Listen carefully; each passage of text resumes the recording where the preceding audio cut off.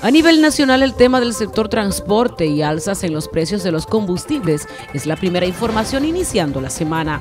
El país se mantiene atento a lo que podría ser una respuesta de los diferentes sindicatos. Hoy cuestionamos al secretario general de la Ruta San Francisco de Macorís, Santo Domingo.